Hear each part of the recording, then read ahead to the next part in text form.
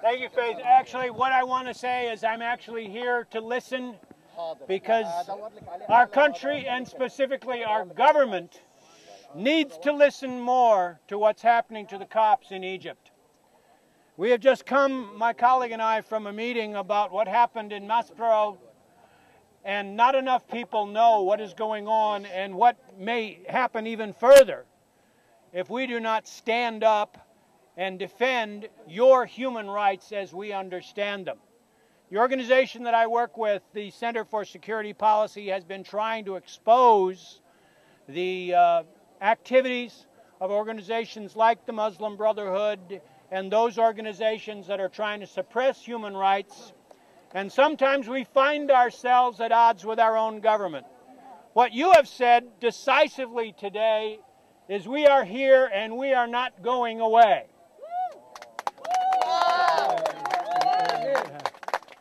And I think you understand that whether you speak English or Arabic or neither one. We will stand with you, and we hope to bring this issue to Congress. Yes, yes, yes, yes. But I, I, I can tell you this: as I walked, uh, I walked up here. Hold up.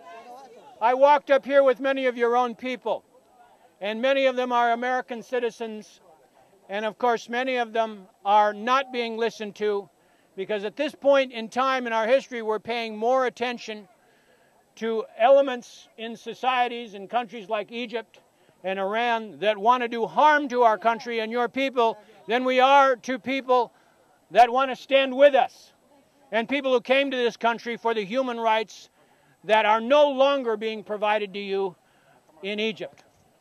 We're going to do what we can to turn that around. So thank you for being here today, and I look forward to listening to all of you. Good. so much. Stop funding Egyptian army.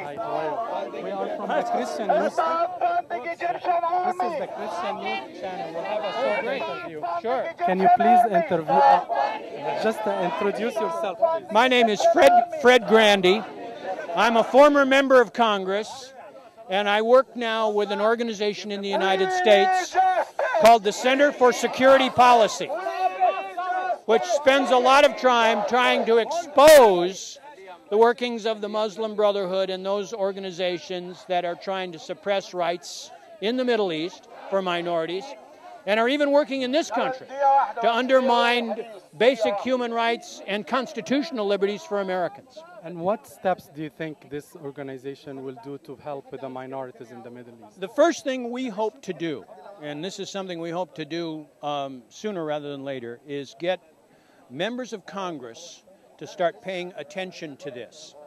The process in this country is if our legislature, our, our Congress, begins to highlight what is really going on, because as you probably are aware, the media is not covering this the way we feel it should.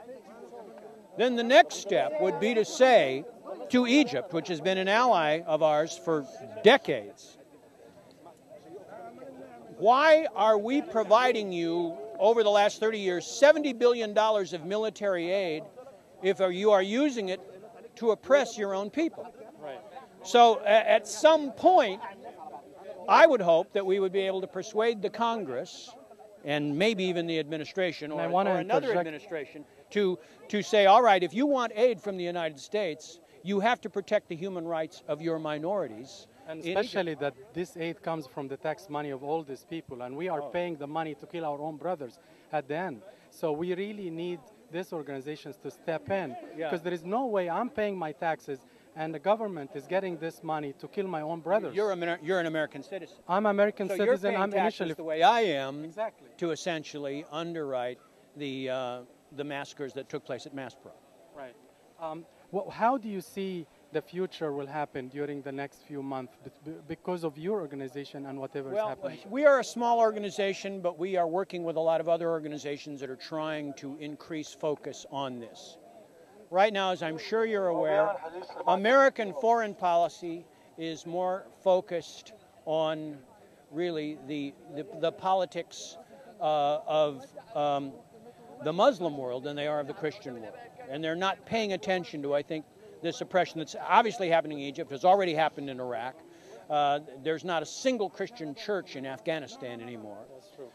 And we need we need a larger collective voice. And I, I, I've got to tell you, I'm I am astonished, delighted, and and uh, gratified that so many people turned out here today because this is a force that has to be reckoned with. Do, do you see that this force and this number of people will reach out to the Congress the way that you want it to reach? I hope so. I hope so. You know, a protest is great, but that's just the beginning. What happens then is constant pressure on your elected representatives to focus on this. Uh, and, and believe me, um, this is something that your opponents have learned for years. Yes. Organizations that are very uh, in favor of, of the kind of oppressive Islamic causes have a much stronger lobby in this country. And unfortunately, it's now taken something like what's happening in southern Egypt to focus this, but it's got to continue. So I wish you all great Thank you so much. See what we can do Good to help. meet you, sir. Thank you for coming.